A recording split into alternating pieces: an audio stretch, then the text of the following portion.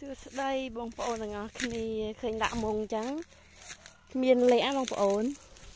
ដាំបានមួយដើមដែរហើយដល់បានផ្លែហើយចូលក្នុងមុងបដ ாய்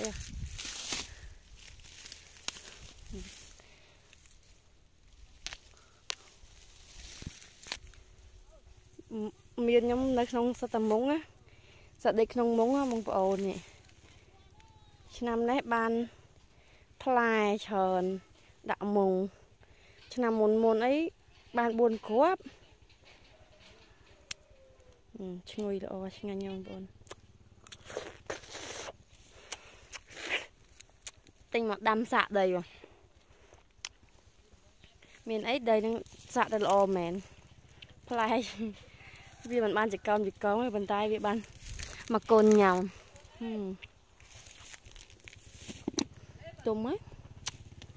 ហើយបើយកឲ្យកូនត្រេនញ៉ាំសិនម៉ាក់បេះមានឲ្យកូនញ៉ាំកូនណែឃើញម៉ាក់ចូលមុងហ៎អូនខ្ញុំបែ4 5គ្រាប់ទេ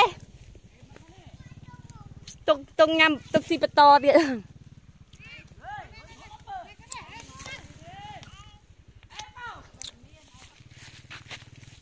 ចែកគ្នាអរគុណផងអរគុណ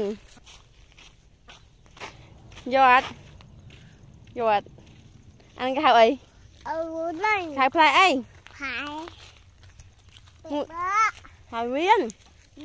មៀនអីមៀនអីមៀនខំ